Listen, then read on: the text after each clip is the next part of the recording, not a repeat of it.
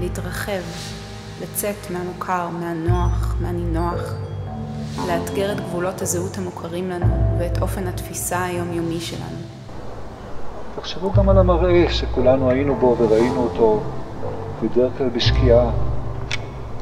מראה זהבי משהו, ירושלים של זהב, אוויר, איך זה? אוויר...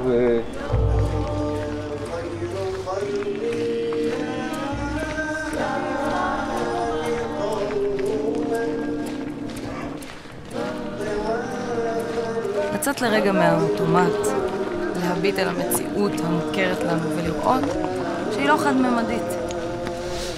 לפגוש אנשים שחיים בירושלים ולהבין שהם מרובי זהויות.